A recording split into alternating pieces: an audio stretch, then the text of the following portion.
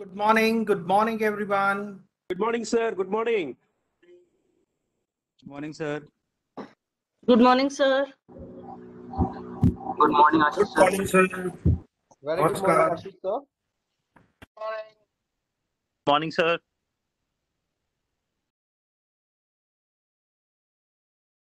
Good morning, sir.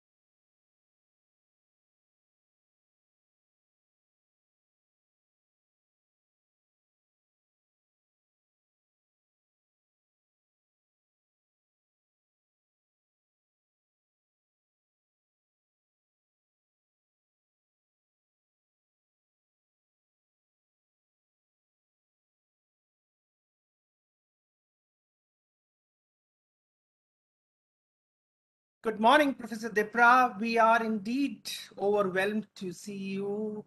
You are truly passionate and a thorough committed professional. I must confess the kind of passion and enthusiasm and time commitments you have, they are worth salutation. Well, sir, we can go ahead with our audio test if you wish. I'm absolutely fine with it. Perfect. Good to see you, Professor. Your Daria. presentation is visible, sir. Namaskar, Yeah. sir. I'm so Namaskar. delighted to have you here. Likewise. Can you can you see Uh, me? sir, you need to unmute yourself. Uh, You are not audible. At the center of the page, uh, on the left, there would be an unmute button. I have already unmuted. It is showing that my audio is. No, sir. Uh, Uh, you, your voice is not audible, sir. Uh, Ashish sir, we can hear sir. We can hear you, sir. Digvijay ji, can you help sir about uh, unmuting himself? Somebody somebody said that they can hear me clearly. The participant said, We can hear Dipra sir. We can hear him. Yes, Yeah. we can hear. Yes, yes, we can hear you, Dipra sir. "Uh oh." Professor Oh, Daria, good morning, need to- sir. Sir, sir is audible. I'm so sorry. I forgot to uh, plug in my earphones, and, and, and I said, you, you are quite audible, sir. I'm so sorry. That's okay. Uh, is my video clear? absolutely, sir. It's absolutely Perfect. clear.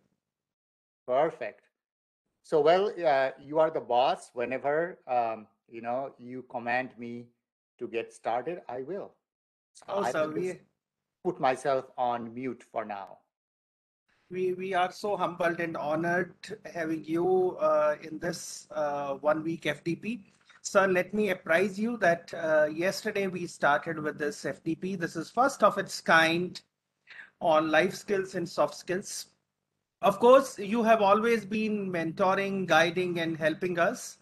Uh, so when we planned this FDP, uh, we uh, had uh, interaction with you. You were supportive right from the planning stage. And I'm happy that this Center for Life Skills and Soft Skills of MD University Rohtak uh, it's a very new center, and in the first year itself, uh, we could back three FDPs uh, from AICTE Atal, and all three of them are on life skills. Uh, first is interdisciplinary, then second we have in the month of September. It is in collaboration with Department of Pharmaceutical Sciences of our university. So those are life skills uh, for pharma professionals. And the third, we have it in the month of December. So that is uh, the advanced version of uh, the same, uh, but there would be some uh, major concentration on hospitality and tourism professionals. Uh, I am delighted to share with you, sir, that we have very enthusiastic participants who have joined from 20 different states of country. And uh, many of them are in education system. So some of them are professors some of them are associate associate professors some of them are assistant professors in uh, diverse domains. We have from artificial intelligence, we have from pharmacy, we have from commerce, we have from management, we have from hospitality, tourism, uh, we have from robotics, we have from uh, uh, communication technology, and so and so and so.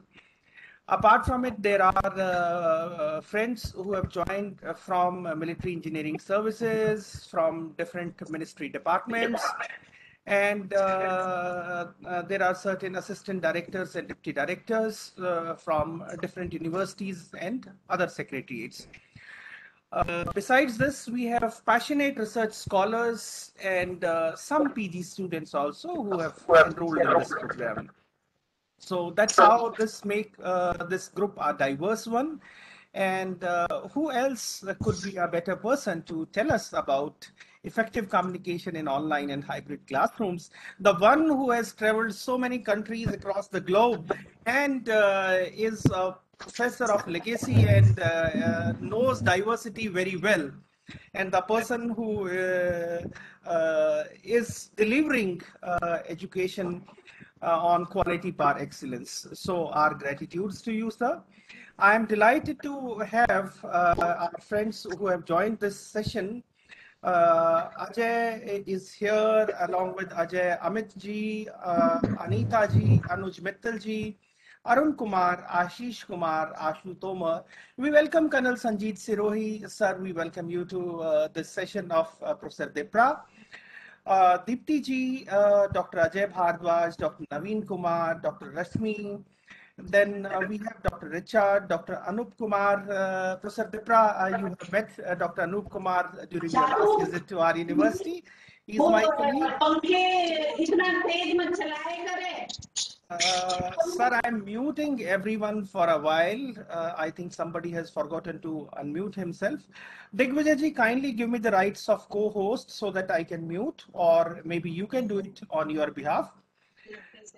Then we have Kumar Satyam, Dr. Jayashri, Dr. Dipanshu, uh, then Dr. Chaitanya, Dr. Monica, Dr. Richa, Dr. Ruchira, Dr. Shivani, Dr. Swati, Dr. Vijay Rathi, Dr. Nidhi. Well, uh, let me also confess that it's absolutely fine in case if you have forgotten to unmute your mic and there are some disturbances or noises from the home. We all are working in a different environment. It's quite acceptable. Only request humbly is just to mute yourself. Then uh, we have uh, uh, G. Sandhya Devi ji, mm, uh, Ina Yadav, Jasmeet Kaur, Jyoti Sayal ji, Jyoti. Then uh, we have Gera Saab. Uh, then we have uh, Kingshuk Adhikari ji, Kirti Malik, Komal Mehrotra, uh, Kominath PV ji, Manish Semwal, Krishna Veni ji, Mehar Singh ji, Mohammad Ajmal, Mukesh Singh, Murshad Ali, Narendra M, Naveen Verma, Neha Bhandari, Nishant Dhankhar, Nupur Parma Shivam, Pradeep Kumar Pradeep Kumar, Piyush Srivastava ji, doctor Poonam Kundu, Pushkar Negi ji Rachita Rawat, Rahul ji, Rajesh ji, Rakesh Kataria, Ratna ji, chef Ritu Uday Kunga ji We are delighted to have you here, Chef. Uh, Ritesh Pathania ji, Rupali ji, Sangeeta ji, Shelja ji, Shankar ji, Sharyu ji, Sabuni Puri, uh, Shabuni ji, we are happy that uh, finally you have joined and you are there with us. Uh, Shweta Daya ji, Siri. Thank you, Shweta ji. Uh, friends, let me tell you that yesterday's report writing task uh, was done by Shweta and our team of DLC. Uh, Professor Dipra, let me apprise you that from the participants, we are picking up volunteers uh, for uh, report writing. So uh, they volunteer themselves and at the end of the day, by 4 when our sessions wind up so by 4.30 they send us the report. We fine tune it and then finally publish it by acknowledging them. So that's what uh, the participants of this fdp are involved with us. We are happy that smriti sonia sharma ji uh, sushmita ji then sumit rathi ji vibhuti mishra ji Vishal Rangan, uh, and Vineet. Uh, we are happy, delighted that you all are here with us. What a wonderful day, and I'm sure that when the workshop itself is on life skills for blissful life, I must say that we had a blissful yesterday, and I'm sure that the day would be more amazing and blissful with learner Professor Dipra. Uh, friends, let me tell you a brief about Professor Dipra. He's a gem of a person, though formal introduction will be shared by my colleague, uh, Dr. Divya, who is additional director of Center for Life Skills and Soft Skills. But then personally, I know Professor Dipra from a long time and uh, a person par excellence who is into the field of luxury services, hospitality, tourism, and a person who has traveled so many countries across the world well, a man of commitments and a man of passion. Uh, he's so passionate about hospitality, tourism, luxury services. And let me tell you that uh, he uh, keeps, uh, continues to help us, mentor us from time to time. Uh, when uh, last year pandemic started, we discussed, and I fondly remember that he was kind enough to share various online tools, tips, and techniques to uh, make classes more effective and interactive. So uh, uh, heartfelt gratitude to Professor Dipra. Thank you. Thank you so very much, sir, for uh, joining us. And uh, Dr. Divya, uh, you are here. I request that the number of participants is good, quite good. So we may go ahead with starting of today's session. Sir, in this team of life skills and soft skills faculty development program, with me, I have Dr. Divya Malhan. She's additional director of this center. Then uh, Dr. Nidhi, uh, she is uh, faculty in management at Center for Professional and uh, Allied Studies of MDU at Gurugram. And she's deputy director of the center with me. Uh, we welcome you, Dr. Nidhi. And uh, then we have Mr. Arun Kumar, who is an engineer by profession.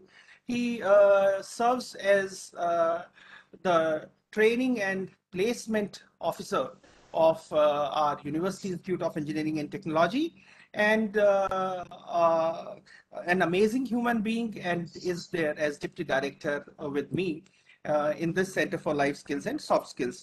So uh, within few minutes, uh, Dr. Divya would be joining us.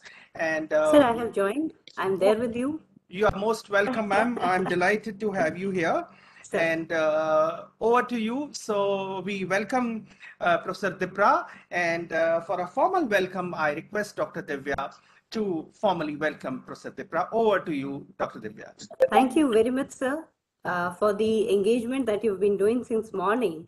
In fact, I have joined from a different device, so maybe you could not recognize whether I'm there on board or not. And it's a very nice technique that you used, and this is called soft skills. These are actually skills so I must say, am I audible to everybody out there? Yeah, yeah, you are okay. very much audible. Thank you. Thank you so much, sir. A very good morning, a very, very good morning to all those colorful, beautiful, and lovely participants out there whom I can just feel, sense, and uh, I cannot see all of you at one go but definitely I can feel the energy in you because since morning I have been receiving all messages in our chat box. Good morning all, good morning all, good morning all. And this is what is actually the energy of the life skills that we are trying to offer in this FDP to you all. So a very good morning to all of you once again. We offer a very, very uh, warm welcome to our honorable distinguished speaker today, Mr. Dipra Jha, he is a wonderful speaker, as I have come to know from his profile that I have been going through uh, since morning. And uh, I must say, it will take me a lot of time to read out what he actually has been doing. But I must tell you, he is a man who is magnificent. He's a person who is a big personality, and you would be delighted to learn a lot from him today and I must thank Dr. Ashish. He has been arranging such wonderful personalities for this FDP. It is going to be a landmark. Yesterday, we had a very, very exciting day. We had uh, two very, very dynamic speakers who told us about the various facets of uh, uh, life skills in our lives. And they gave some very good examples from their own lives and which were very motivating. They were very inspiring and we were truly motivated to go ahead in our lives with all those developed skills that we have. Thank you so much for the yesterday's speakers and thank you so much for the patient audience that we had yesterday. You all are so beautiful. You cooperated so well. There have been issues regarding some attendance and we all sorted it out. And this is a lovely, lovely thing. Dr. Ashish is always there for help and uh, Dr. Arun Huda, Dr. Nidhi, they are cooperating so well and the day went so well that this actually is life skills. This is the success of the program. It talks a lot about it. Yes, uh, lovely to hear some voices in between. It definitely gives us some color. But uh, I would love that all the participants keep themselves muted because we would love to listen to you at the end of the session when you will be interacting with the uh, uh, sir. And then, uh, of course, we will give you some time for the interaction. So you can unmute yourselves at that time. And right now, I will not take much of the time. I will introduce our honorable distinguished speaker today. Mr. Dipraj Jha is a scholarly associate professor in the Carson College of Business and assistant director of the School of Hospitality Business Management at Washington State University in the United States. He is recognized as an expert in luxury hospitality and tourism strategy, and he currently serves on the board of directors of Washington Tourism Alliance. A global scholar and innovative educator, he is a recipient of the prestigious John Wiley and Sons Innovation in Teaching Award from the International Council on Hotel, Restaurant, and Institutional Education, ICHRIE, among other honors. At WSU, Professor Jha teaches courses in hospitality management and international business. He is among a select group of faculty to receive the Samuel H. and Patricia W. Smith Teaching and Learning Grant to improve undergraduate education. Professor Jha frequently collaborates with communities, government entities, and private sector organizations in the United States and overseas on training, research, and outreach projects. He has been an invited professor in residence with the Venetian Palazzo Mega Resort in Las Vegas, the Emirates Academy of Hospitality Management in Dubai, and the Oberoi Center of Learning and Development in India. A passionate advocate for experiential learning and global education, he is pioneer in using COIL, that is Collaborative Online International Learning Pedagogy, in hospitality and business education. In 2019, he was conferred a rare and distinguished Doctor Honoris Causa by the KYIV Cooperative Institute of Business and Law in Ukraine for his outstanding contributions to international education. He can be reached on his email, which we will give to you at the end of the session. With these words, sir, I welcome you to this session. All those participants out there are eagerly waiting for me to get aside and let you in for the lovely lecture that they are waiting for since morning. So over to you, sir, for your wonderful views. Welcome, sir. Good morning, everybody. Um, first of all, I cannot thank both um, Dr. Dahiya and Madam for this wonderful and warm introduction. Um, good morning to all of you. I'm presuming almost everybody is joining from India, so it is good morning to you. It is uh, close to 9 p.m. It's 8:43 p.m. here in Pullman, Washington, because you all are 12 hours and 30 minutes ahead. So I had a fabulous dinner. I am stocked up on my favorite red soda, uh, as you can see, so that you know I am in a fabulous mood. And when Professor Dahiya asked me uh, to do this session, I said, of course. I mean, anything he asks, how can I say no to a man who I respect and admire so much? I mean, he is truly a leader in all things education, and I am very honored and humbled to call him my friend. So with that, I will uh, get started. Uh, Professor Dahiya, um, uh, I'm sure my video and audio feed is clear, correct? Okay, perfect. Um, so, uh, folks, what I want to do today is I want to talk to you about effective communication in online and hybrid classrooms. We roughly have um, one hour and 45 minutes to go because I'm looking at the uh, looking at the clock. So here is the plan for the day. So uh, for, for, for this particular session, so I am going to start off by sharing my experiences in teaching in different cultures. And why is that important? Because uh, teaching or classroom communication is very much informed by the culture that you are teaching in. And I will uh, show you examples of why that matters or how that is important.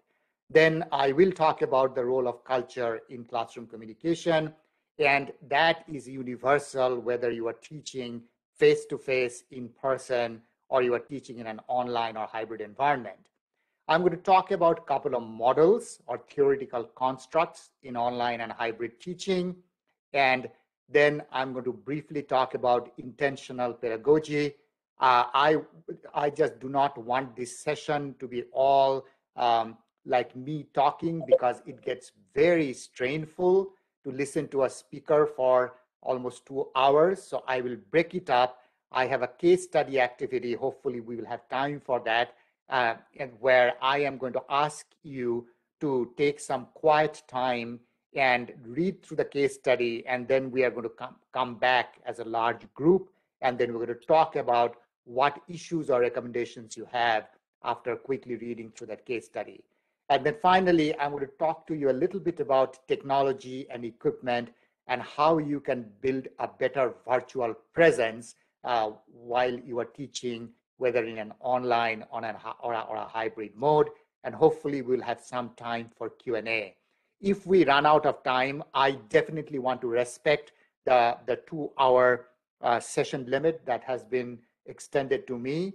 Uh, I want to respect that. So if we run out of time, you are more than welcome to continue the conversation with me via email or other social media such as LinkedIn. Uh, the organizers are going to share my email uh, information and I have that on, on the very last slide. So you will have an opportunity to write all of that down. So let me start off a little bit by telling you about myself. Uh, we already uh, kind of got to hear during the introduction, but bottom line, um, I work for Washington State University. Um, uh, I am a professor within the Carson College of Business. I actually teach in two areas, um, hospitality business management, and I also teach international business. So I hold appointments in both of these departments. Um, I am the assistant director of the School of Hospitality Business Management. Um, a, a, little celebratory uh, announcement uh, just the new rankings that came out last week, our school is now ranked number two in the United States, and which is a pretty big deal. So my areas sir, of expertise. Sir, please allow me to uh, interrupt you here and ask my all participants of this FDP to switch on their camera for a moment and give a round of applause for this. I think nothing could be more amazing having a professor from a school which is the leading hospitality and tourism school across the globe. Our gratitude to you, sir. It's such a committed team you have, and uh, no doubt professors like you and uh, the professors of Washington State University, your school, have contributed amazingly well. It's indeed a proud moment. Thank you, sir. Please carry on. Yeah, thank you, Professor Dahiya. You're, you are, as always, you are very kind. Um, so my areas of expertise are luxury hospitality, as Professor Dahiya talked about. Um, I also do a lot of work with tourism strategy, and, uh, and, and I recently got elected to the board of directors of Washington Tourism Alliance, which is the umbrella organization of all things tourism. Uh, though, you know, I teach in international business or I teach in um, teach in hospitality management, I am very, very, very passionate about undergraduate education. During my introduction, you heard I received the uh, Smith Teaching and Learning Grant to improve undergraduate education. I am constantly asking myself uh, the question, how can I be a better teacher or a better instructor in the classroom? How can I help students to be more successful during their college experience? How can I bridge the gap between the world of practice or the careers they're going to go into versus what they're learning in college. So, uh, as I mentioned, I am uh, you know, very passionate about teaching and learning. And so, in the United States, my um, you know, I live in the state of Washington, and here is the state of Washington where it it is located. Um, because when I say Washington, sometimes people get confused because you know there are two Washingtons in in the in the U.S. One is uh, in the East Coast, which is our capital, Washington D.C. close here, but I live on the West Coast in the Washington State. To our north is Canada. To our west is the Pacific Ocean, and Washington is a spectacularly beautiful state. It is also a very entrepreneurial state. Washington has given the rise to some of the most well-known brands in the world amazon microsoft starbucks boeing all of these are washington companies. Um, so we are very very proud as as the college that i'm part of carson college of business. We have uh, thousands upon thousands of our alumni working in these organizations. So we are very blessed to be part of a state and a part of a business ecosystem which uh, is so highly supportive uh, of us. So uh, our largest city in the state of Washington is Seattle. Um, it is a spectacularly beautiful city, a lot of tech. Um, uh, uh, uh, it's of course a tourism attraction, fantastic seafood, and, and, and so on and so forth. I live on the opposite side of the state. Seattle is on the west side um, on the Pacific Ocean. I live on the opposite side of the state in a, a picture postcard college town called Pullman. This is a picture of Washington State University's campus where my office is. It is located in the rolling Palouse Hills. Uh, Washington State University is the flagship university for the state of Washington. So we have five campuses across the state of Washington, but this is the main campus where I am um, I, I, I, am I am based at. So as you can see, uh, the background of the rolling Palouse Hills, um, and and this is a picture of our of our university campus. It is just beautiful, almost zero pollution, almost zero crime. Uh, I mean, it is uh, it is truly a picture postcard environment to uh, to kind kind of um, kind of live in. So I was um, sharing with all of you that how uh, that I, that I am really passionate about teaching and learning, especially undergraduate education. So typically, I enjoy being in the classroom. I enjoy being physically with students, um, engaging with them, uh, learning with them, learning from them, teaching them about the things that I know or the insights I have. And typically, my classroom in the United States will look like this, you know, a lot of group work, a lot of uh, um, lot of case-based learning, and so on and so forth. Um, but I had the opportunity, as Professor Dahiya kindly mentioned, to actually be invited all over the world and teach across cultures, like you know, so many different cultures. And every time I am engaging in a different culture, it actually teaches me how to actually engage with that particular audience. So today we're going to be talking about communication, though in an online and hybrid environment, but how you communicate with your students, how you teach is very much informed by the culture that you are in. For example, I was invited by this university in the Ukraine, and here, um, you know, they, their English skills are pretty limited. And I had one of their professors who was translating my lecture. So every couple of minutes, I will speak and then I will, I will stop and then she is going to translate for the audience. Very different, the way engaged. If you look at this classroom, it is very different from my classroom here in the United States, where uh, uh, students are sitting around in almost pods. Here it is this very traditional long rows of tables. You know, there is a there is a distance between the instructor or the or, or the person delivering the lecture and the students much more stoic and of course there is a language barrier another great example. I lived in china uh, in hainan in 2019 and i taught at hainan university. So this is the picture from there. Um, china is a very different culture. It's very traditional. Teaching is very traditional. Uh, the professor will stand behind this instructor podium uh, and you see all of these students are smiling because this is the last day, but this was not, not how the semester started. uh, there there is a very high power distance uh, that you know that the uh, students rarely ask questions and, and all those kinds of things. Also, the physical environment informs what you can or cannot do. I mentioned the word physical environment. Can anybody pick up something in this classroom that's very unique? In this classroom in China, that's very unique? Is anybody noticing something in this classroom in China that is very unique? You don't see that a lot.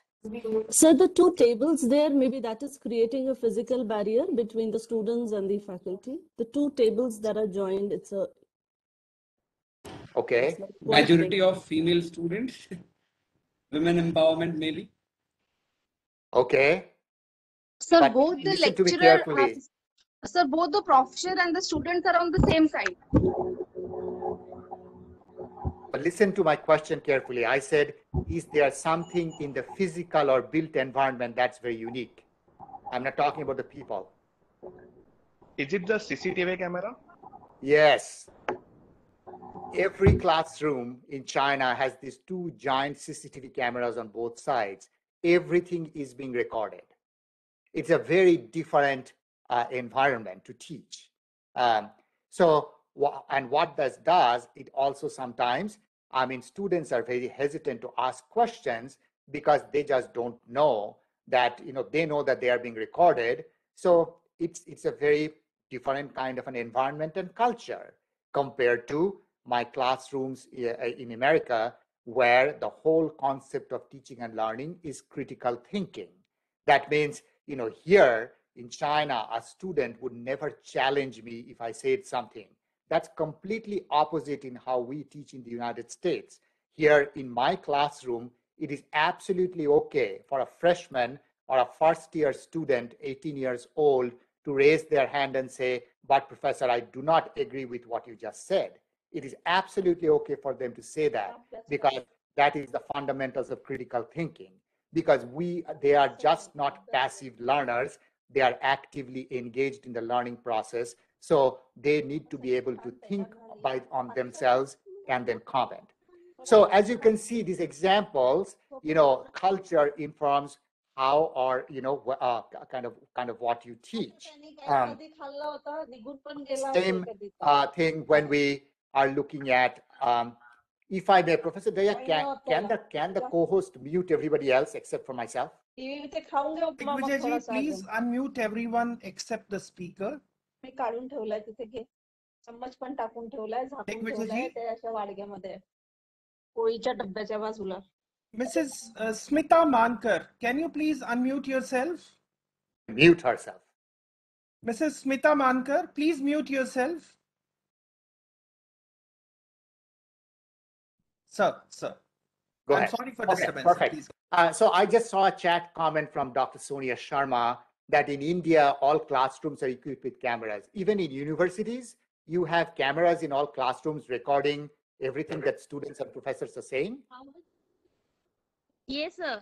Sir, uh, audio as well as video. So uh, almost in our university, it is well equipped. We are using very high tech, uh, you know, cameras to listen.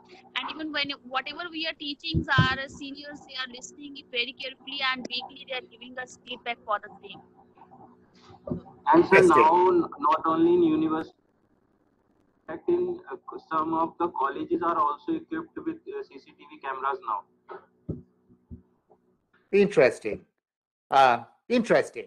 Um, so, so yes, I mean, I, I'm, i probably, um, you know, your students and faculty are, uh, uh, first of all, these kinds of things are unthinkable in Western Europe or say uh, US because of privacy and all of the other reasons. So, so, so that means, you know, things in India are changing as well. I am actually seeing lots of people saying no um, to, to, to the, to the cameras. Um, so it seems like probably private colleges or private institutions are instituting this. Are there examples of any government or public institutions using ca- physical cameras and recording everything in the classroom in India?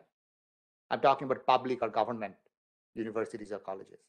Yes, sir. Sir, Uh, Our Yes. government college also has the installed cameras. Some classrooms we have cameras. Let me put, put it this way, know it's- it is not in all classrooms. What we have tried to do, we have created one or two as a model classroom. So I think almost every government institution now has one or two such model classroom where you have all these digital tools and they are available, but not in all the classrooms. Just to clarify, Professor Dahiya, this is not a distant tool. This is not for distant teaching. This is for physical, like, you know, these, the classroom in China, it is not equipped for distance learning. It is every physical interaction between students and faculty, the camera is running. No, no, sir. Our purpose is different. Our purpose is different. We have just one or two for the purpose that we can go for uh, mm, any distinguished speaker if he's here and if he intends to use tools, or maybe online for regular students. But the purpose is very different from China. Right. Yeah, So that, that's, that I wanted to clarify. Sir. That in, in, in, in this case, you know, any, uh, and, and these classrooms are not set up. So, sorry, somebody else had a, uh, had a comment.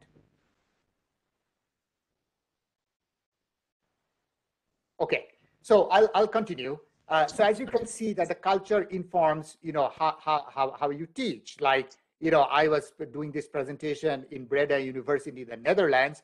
You know, it is a converted, uh, their, their campus is converted from an old monastery. And this is, this chapel is the main auditorium. As you can see, the organ in the back. I am so far away from the audience that it is very hard um, to even make an eye contact, you know, in the audience. So when you are teaching in this kind of an environment, it is very different.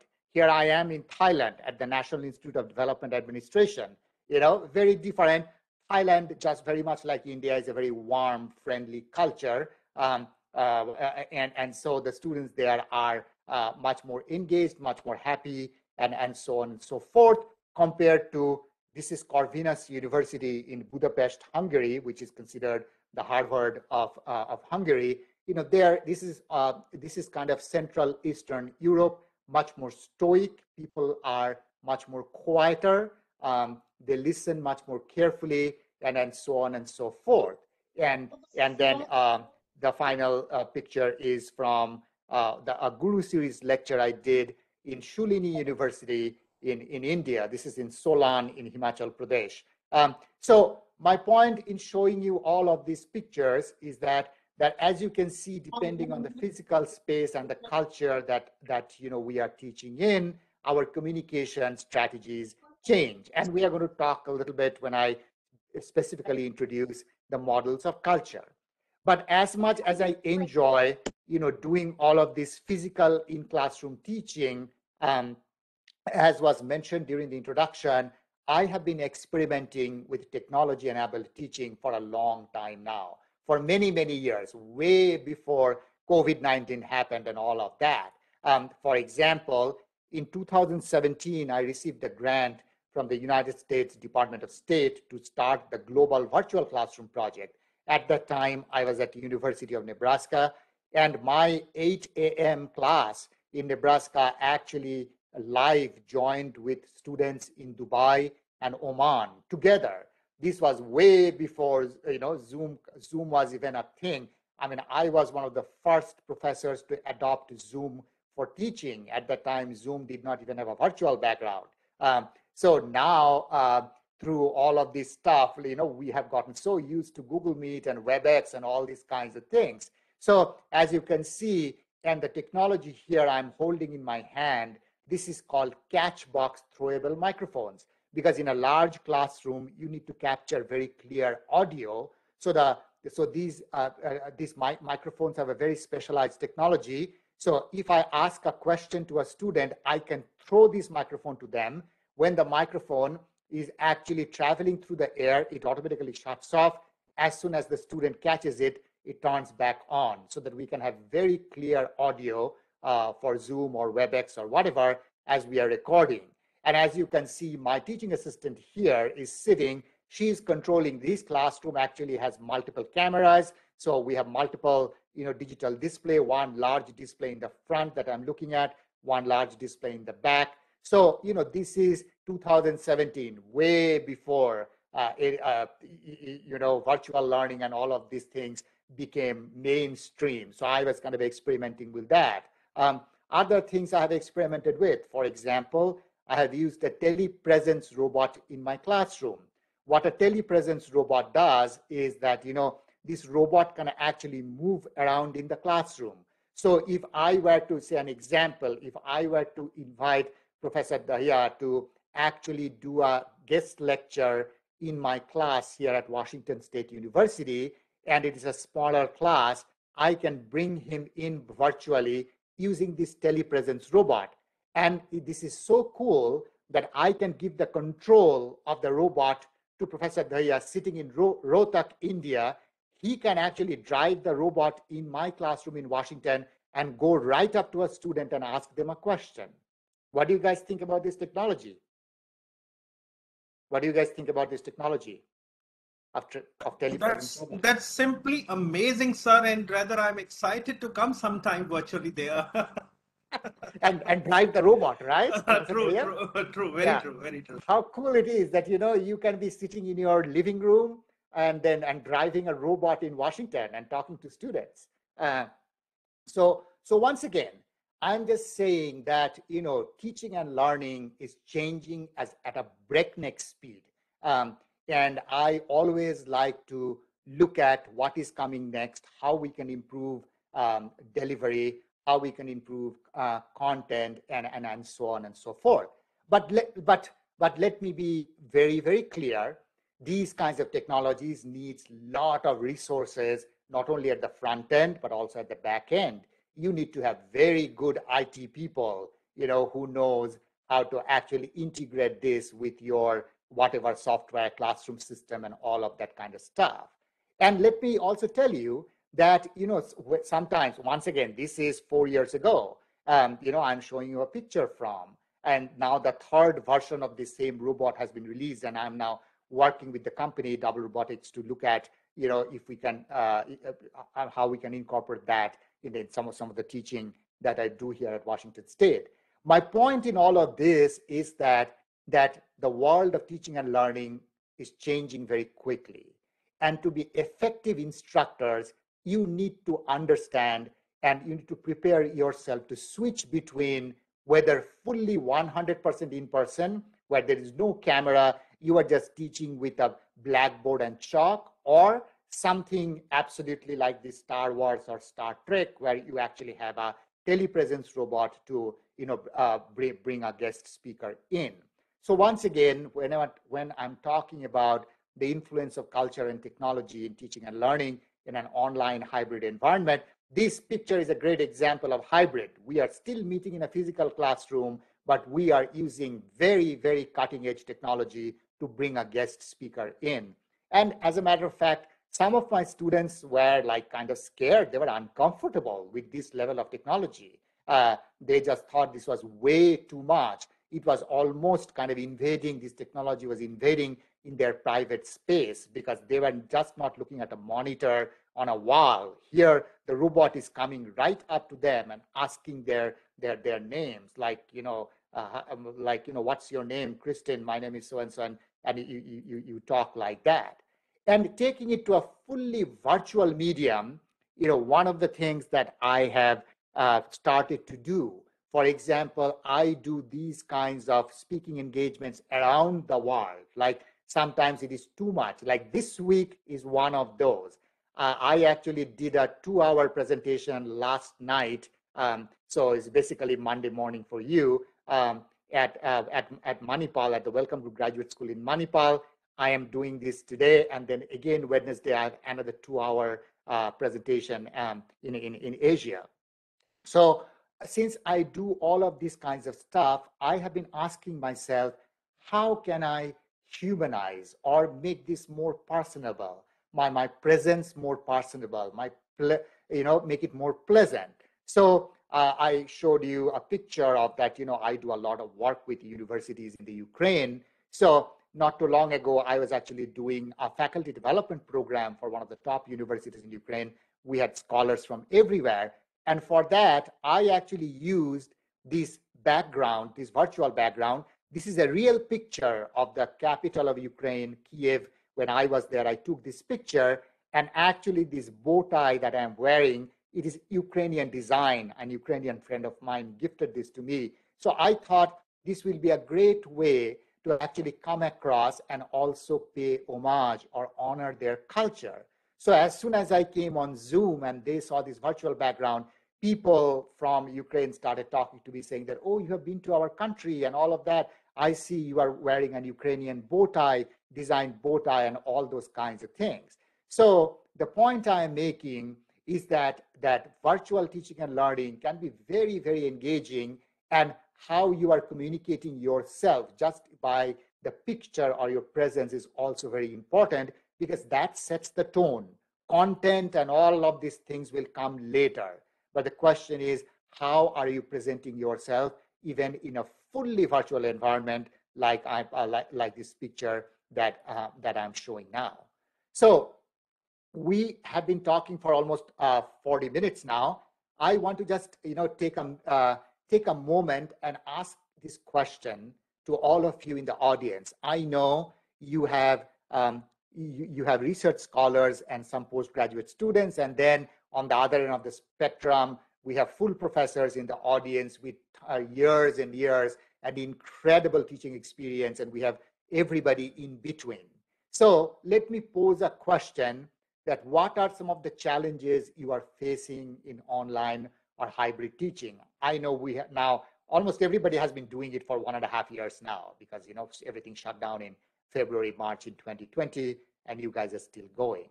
So I see one comment, bandwidth problem with the student side. Absolutely. Online classes sometimes feels boring. Very good. Very good. Uh, yes, to that, of course, you know, there is research clearly says that you should not be doing online classes for like sessions for more than 45 minutes. After that, it is very hard to pay. Personal touch is missing there. Connectivity issues. It's difficult to engage students. Very, very very important. Um, connectivity issues are coming up a uh, lot of times. Yes, uh, online virtual teaching uh, is very taxing for eyes. Uh, oh, Dr. Rashmi, I, I mean, uh, yeah, there are days that after two or three Zoom meetings or classes, I go actually take a you know take a nap on my couch because my head hurts. I get so tired. Um, there is less of interactive energy Yes, and and and and interaction is something that you know you need to. And we're going to talk about intentional pedagogy. Face-to-face interaction can't be replaced by virtual interaction. Uh, yes, it can be, but there are ways to actually even engage people. Uh, difficult to maintain student interest. Tracking the students totally missing. Very few students open their video camera. We have to make it okay. Sometimes one-way communication. Absolutely. That's why engagement. That's why I mean, that's the reason I am stopping here and letting you respond. You know, uh, the feel is missing. Yes, I mean, most of us became uh, professors or teachers or instructors because we enjoy being in, in the classroom.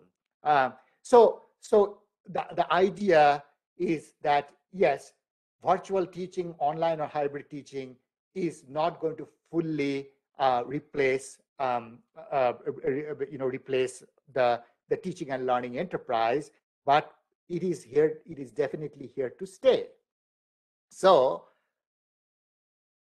so let's look at um, this report that just came out from LinkedIn News. This is of May, uh, you know, this May. So look at that. The remote share of the of this work from May 2020 and one year rate increase. So as you can see that, you know, media and communications from 2.8%, it jumped, remote share of this work jumped to 26.8%. But look at education. From 2.6%, this 2.6% were people like me in 2017 doing that kind of global virtual stuff. Now it is 12.6%. So, and actually in March, I attended a very intense three-day teaching workshop at Harvard Business School, and it was incredible. One thing is for certain, online and hybrid learning is here to stay. So, so yes, we all feel nostalgic. We all feel that we, if we could just go back to the physical classroom and keep doing what we did for our entire lives, everything is going to be okay. However, that is not going to be the case. You know, it doesn't, and it doesn't matter that, you know, where you are, whether you are in the United States or in India or in China or Ukraine or Hungary or wherever, what is happening is the pandemic is a black swan event. Black swan is a term that is used by the financial industry to basically um, uh, describe an event where there were no precedent. That means, you know, it has never happened before. We don't know how to how to read it or how to interpret it. So any whenever a black swan event happen, happens, there are a lot of paradigm shifts in society. COVID-19 is a black swan event. And, and we are seeing the same kinds of things in a sense that there is this tremendous amount of changes that is happening you know in the education segment. So you know i mean education uh, high especially higher education is very traditional and very conservative. Universities do not like change. That's why they're usually around for 200 300 400 800 years because they're usually there to preserve themselves tradition culture all of that kind of stuff but you know if that segment is changing uh, by a factor of almost five times it says something. So my point in actually you know showing this slide to all of you is that make no mistake online and hybrid learning is here to stay. So irrespective of whether you are a postgraduate student or a research scholar or a very very accomplished and experienced faculty member um, it will be it, it'll be good for all of us to become what I call mixed methods teachers. That means that yes, I am very good at in-person uh, classroom teaching, but I also need to learn how to be an engaging teacher in online and hybrid classrooms. And this is this ties right into this World Economic Forum. Skilled students need to be successful. At the end of the day, what are we teaching students for? We are teaching students for that not only they are going to know, they're going to come out with knowledge, whatever they are learning, whether it is uh, uh, inorganic chemistry or, or, or, or aeronautical engineering or hospitality or whatever, we want them to be equipped with those skills so that when they graduate, they will be able to use those skills to be successful professionals in whatever they do, whether they are going to teach English in a high school or they are going to go work for um, NASA and build rockets. Everybody needs to develop those skills. And what are those skills uh, that students will need?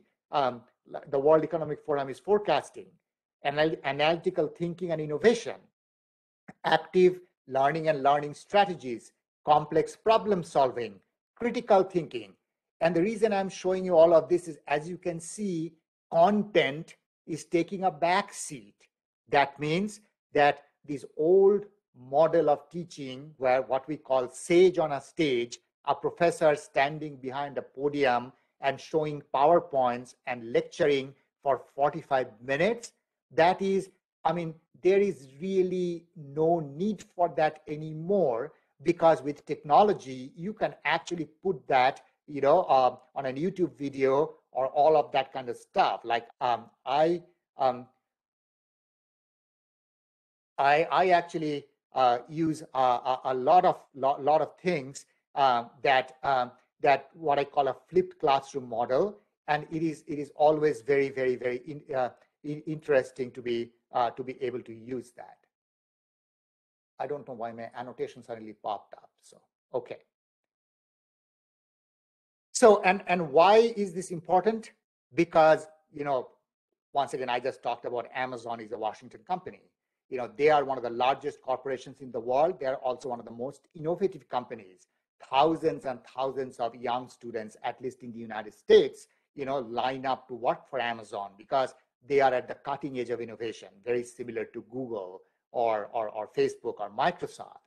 They just announced a new hiring process. What they said is that that if you want a job with Amazon, of course, in a certain role, like you know, say you want an engineering job with Amazon, you just apply once and then you have to interview via video conferencing. They are not going to interview face to face.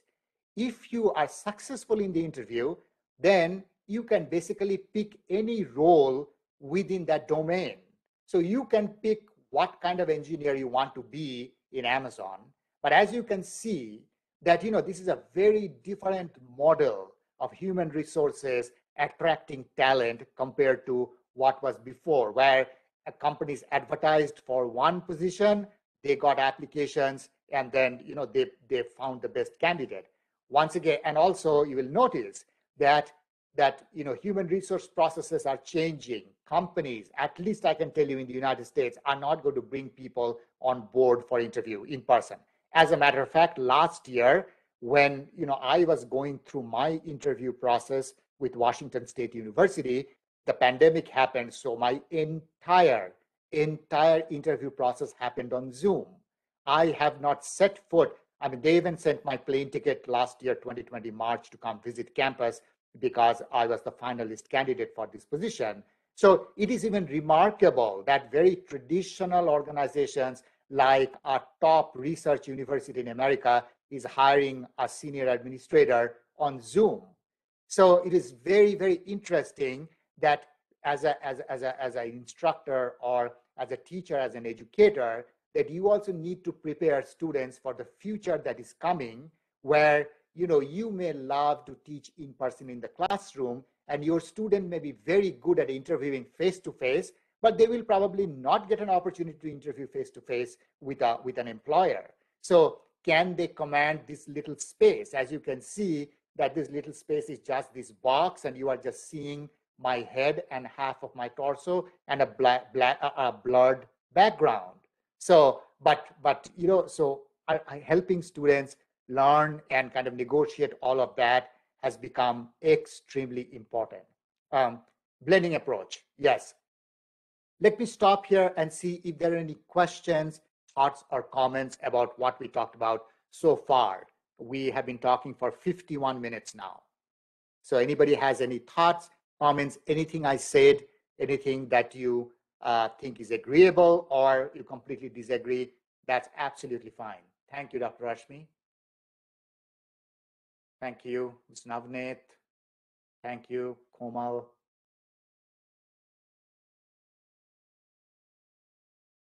Okay, very good. So, so let, let, let me shift gears a little bit and start talking about role of culture in classroom communication. Now, folks, I, I, I showed you pictures of me traveling the world teaching in physical classroom. Now let's take, take a deeper dive into why culture is important. So because I want to start with this famous quote by Paul Watzlawick, you cannot not communicate. Let me repeat. You cannot not communicate. That means if you are shutting your camera off during the entire semester and you are and if your student is not communicating with you even for once, they're still communicating. They're saying that I am really not engaged. I'm really not interested. So that means you cannot not communicate. You know, it is very important to understand that. More important to understand this because when you are operating in an online, virtual, or a hybrid environment, that whatever you do, you know, as soon as you come onto the class and you know you switch on your camera as an instructor or a teacher, you are communicating something. Like one of the things I like to do I like to, you know, log on a few minutes before class every day uh, on Zoom because we use Zoom uh, like most American universities do. And I just do chit chat. Hey, how's it going? Like, you know, or I saw some social media post by by a student that they won an award or they did something interesting that draws them in. They, then they also feel a connect. One of the things many of you commented in the chat is that the, the inability to create some kind of a rapport. Now, once again, I am going to talk about that in a minute because it is also informed by culture. Now, there are two types of cultures. Some of you who have taken classes in sociology um, or, or, or, or those kinds of areas or even human resources may already be familiar with this model that was developed by Hall. that basically we can divide um, the world into two types of cultures low context and high context. Why does that matter? Because low context culture, like the United States, North America, is very individualistic. It is all about I and me, my space, my respect, and all of that. Low context cultures are also very task oriented. That means tell me what needs to be done, let's get it done, and let's get off with it. And then communication is much more direct. High context culture like India is much more collectivist, is we, family, all of those things are important. You are just not an individual, you are a part of a family and of society at large. It is much more relationship oriented, it is not task oriented. And communication is much more nuanced. A person in India, let me give you a specific example. Like, you know, uh, I have a lot of friends who are from the Netherlands, they're Dutch, you know, Dutch people or German people, they're, they're extremely low context, you know, not only highly individualistic, but their communication is very direct. So for example, you know, if you went to a barber and got a haircut, you know, and then you have a Dutch friend and you ask them, hey, how does my haircut look? If, if, if your German or Dutch friend think that you look ugly, you know, that your haircut do, does not look good at all, they will say, your haircut looks ugly. This is something that normally never someone in India will say to their friend. They will nuance it even if they do not like it because there the society is much more relationship based. I do not want to disrespect or ruin my relationship with you. Compared to if you ask a Dutch or a German person they, where they come from in a task oriented society is that you know if you are asking me that means you value my opinion that means it, it, it is it is incumbent upon me to give my honest opinion, not to make you feel good. And so that's the reason I said in my in my like HBM 280, which is an introduction level class in a hospitality systems class, it, sometimes we will have these robust debates. And I like it because, you know, I like when a first year freshman student will actually raise their hand and challenge me that about something I said, and we are going to have a robust dialogue because you know we are teaching them the most important thing is critical thinking because at a top business school in America, we don't want yes people because we are trying to produce the best business leaders. They need to be very, very articulate, you know, in the process of decision making. So as you can see, depending on which culture you are operating in, that you know your communication style is going to be uh, going to be changing.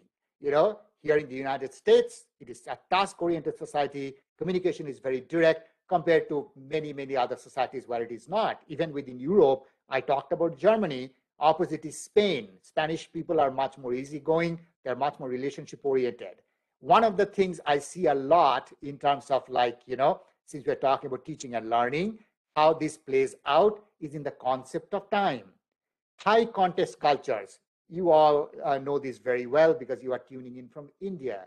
In a, in a culture like India, time is a more flexible uh, uh, kind of a concept, you know, in a sense. So if somebody uh, invites you for dinner, you ask them, what time do you want me to come? If they say, eh, maybe around 8, 8.30, you know, at 8, 8.30 means that it could be anything between 8 p.m. and 9 p.m. However, in low context cultures, that is not acceptable. Time is highly organized. In the United States, the saying is five minutes early is on time, on time is late. For example, if you come to our university, you will see that if there is a meeting at 10 a.m. in the morning, everybody is in the meeting room at 9.55. The meeting starts dot at 10 o'clock. If you walk in at 10 o'clock, you are already late. And that is same for Zoom meeting or whatever, and stuff like that. That's the culture. The worst thing that you can do to a person in North America, like in the US or Canada, is just show up late without informing them. It is considered extremely rude and insulting to be late in this culture. I see that a lot for students who come from high context cultures, say India or Vietnam or so on and so forth, who are not used to the American culture, that they will show up for class late. And students, uh, the local students get very irritated that, you know, if my class starts at eight o'clock, somebody just walks in at seven minutes past eight, it is just not done. Because in this culture, it is a high, remember, in a low context culture, it is about individualism. So when somebody shows up seven minutes after class has started, opens the door, disturbs the professor, disturbs the students, for, the, for a local student or somebody who is raised in the American culture, the, the, uh, the, the emotion is who has given you the right to disrupt my learning? Because I am paying $40,000 a year to go to school at Washington State University. Nobody has given another person the right. So it is a very different concept of time in a, uh, uh, uh, you know, in low context and high context cultures and in online and hybrid teaching, especially if you are going to do intercultural teaching.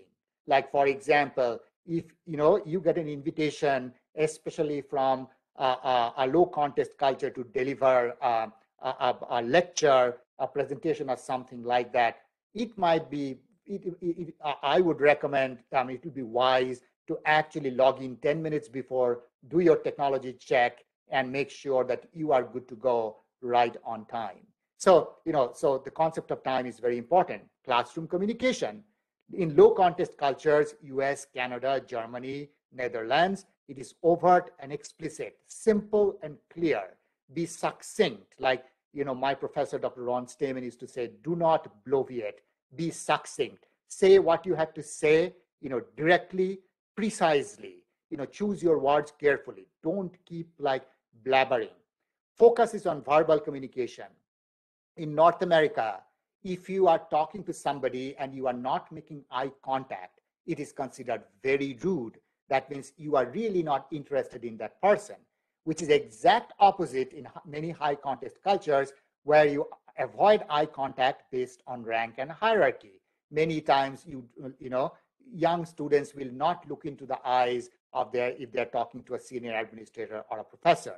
Small talk. Yes, we also have small talk in the United States, but it is just right at the top of the meeting, beginning of the meeting.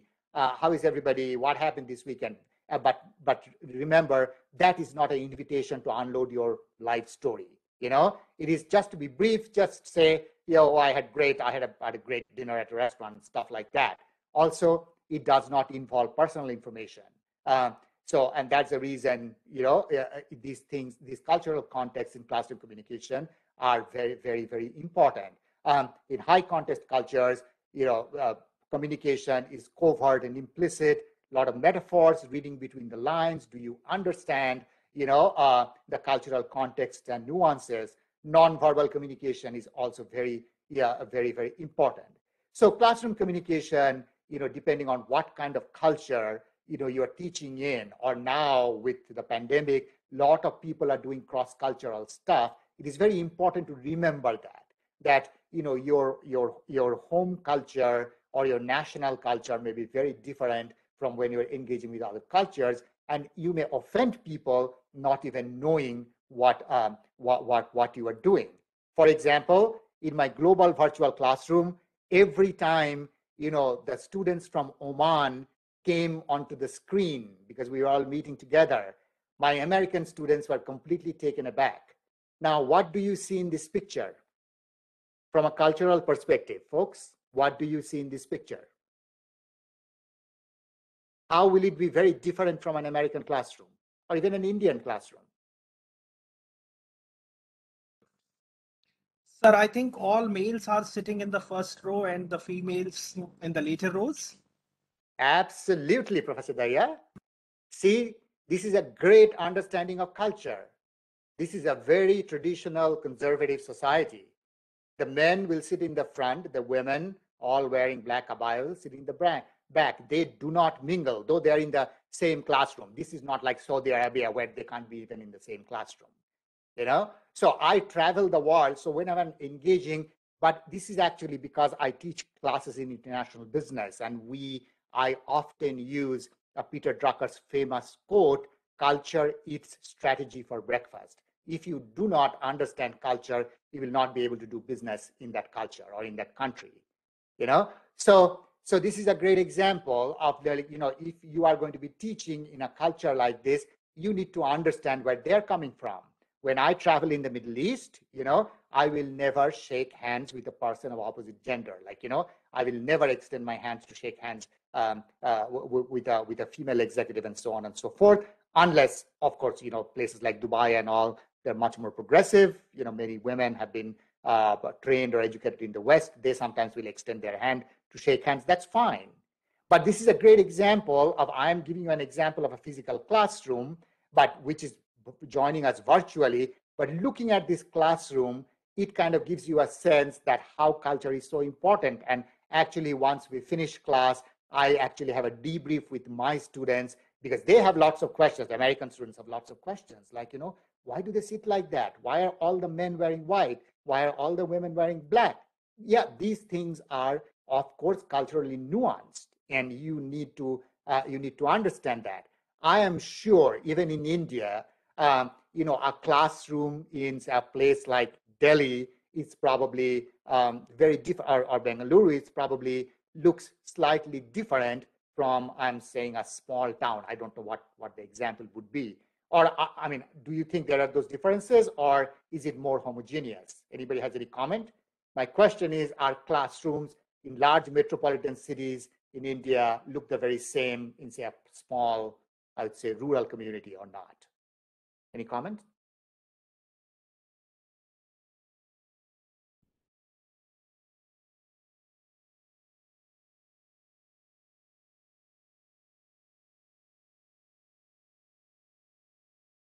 No, sir.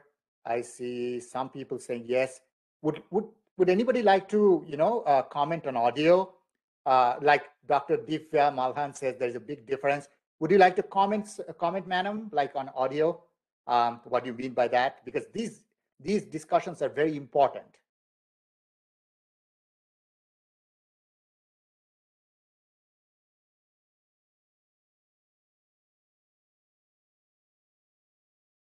Okay, I'm seeing uh, no, yes. Okay. Um, so hello, sir. Hello, Yeah, can you hear me? please. Uh, sir, this is Shankar Kumar Mukherjee. I am uh, I'm uh, Bengali, and I have visited rural Bengal. And in rural Bengal, I have seen in a classroom, in a school classroom, the boys are sitting in a row and the girls are sitting in a row. And when the recess happens, the girls leave fast and then the boys leave.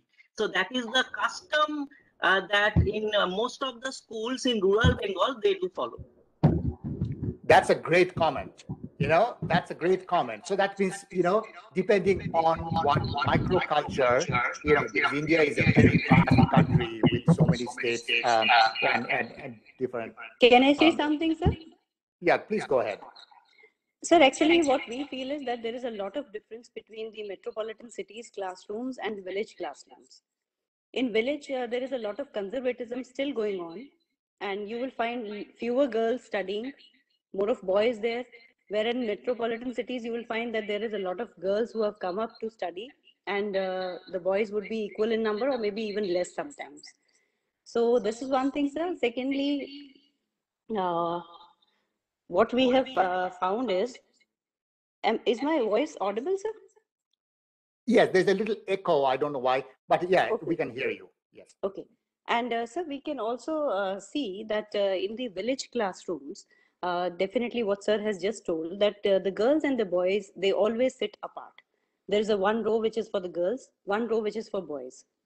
Whereas in metropolitan cities, you can see that even on one bench, there is one boy sitting, one girl sitting, and they are um like interacting very closely with the teachers. In the villages, we find that the students do not uh, easily interact with the teachers. There is a power distance. They feel very hesitant to interact. Whereas in cities, you will find that the students are a little opened up and they interact very frequently with the teachers, especially when I'm considering India as uh, the example. So these are some of the differences that we observe, sir. Oh, that's that's such a wonderful comment, Dr. Divya. Thank you so much. Sir, And I, I do wish to Good add morning, up sir. something, sir. Can I Go ahead. can I add a few few points, sir? Can I? I think uh, is Professor Dahiya wanted to go first, and that then that is the case. Yeah, go ahead. Yeah, please. Sir. Go ahead. Yeah, go ahead. Dr. Karthikeyan, go ahead. Yeah, yes, sir. Yes, sir. Uh, that is the case with uh, Tamil Nadu also, sir. Uh, recently, we have a detailed discussion, sir, that's going on in the social media, whether we have whether we should have uh, co-education schools, because a lot of uh, complaints about harassments. So there was a healthy discussion going on uh, whether to have co-ed education system. Why why why why should not we go for a separate education, male separate schools for male and female? That's going on, sir. So as far as culture is concerned, you know, sir, uh, this uh, topic is a, a hot topic, you know, that we have to deliberate, sir. What do you think about this one, sir, actually? Oh, that's a great question, uh, Dr. Kian. Uh, if you ask me, my short answer to that is I think, um, you know, it is important to actually build a healthy relationship between boys and girls um, uh, and, and different kinds of students since they're children. Um, I, I mean, I, in my humble opinion, I just think it is regressive to actually, you know, bring children up separately as if there is some kind of an antagonism between these two genders. But, but you know, I am not an expert in school level education, so this is just my very uninformed opinion. Uh, but that's that's my, that's my thought. I I have I am not a researcher um, in that in the, in that area. Somebody else had a comment. I, I Thank wanted sir. to share something, sir. First, uh, we welcome uh, Mr. Rajbir Deswal, sir. Uh, he has been really kind. Uh, when we apprised him that uh, you are coming, he uh, uh, has been so kind that he joined our session. Uh, welcome, uh, sir. Our gratitudes to you. Number two, uh, sir, I wish to share that in India, we have a lot of diversity. And uh, so you can see uh, different schools and different higher education institutes in the country.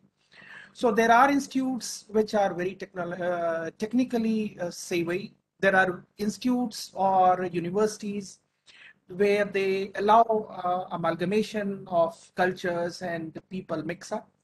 Whereas keeping a view uh, or respect to the host population or regional uh, aspects, there are states where there are exclusive women universities. So only females can study and males cannot. Even the higher positions there as vice chancellor or registrar are uh, exclusively for women. So with such diversity, uh, there, there is a unique kind of ecosystem that we have.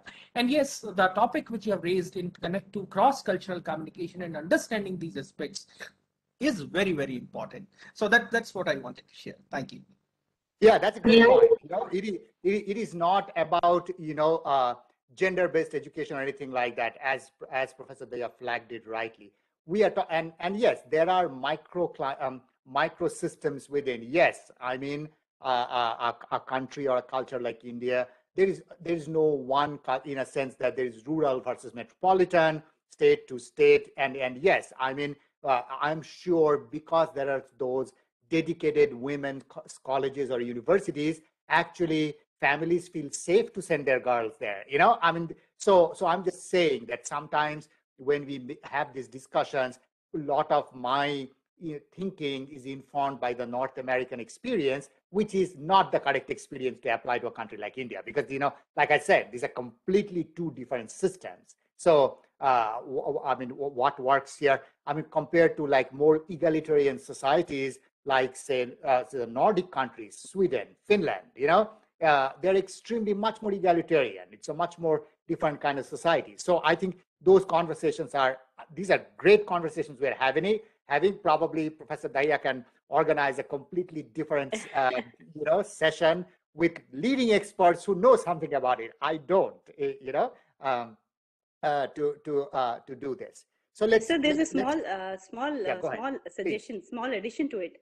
The discussion has been has been going on, and uh, what I find is that women universities or schools or colleges are being advocated because uh, of the law and order situations also.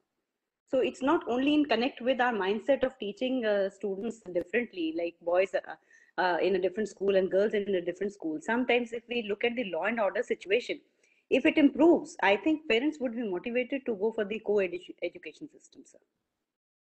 Well, sir, in connect to what uh, Dr. Divya has stated, I'd like to add on uh, something here. Uh, law and order can be one perspective, but I think it's more about uh, cultural or a social fabric. So uh, many a times it is maybe that a mother is willing to send her daughter to a co-ed school, but the place where she is dwelling or she is living in, the social fabric makes her feel more secure that they are going to uh, girls college or girls school.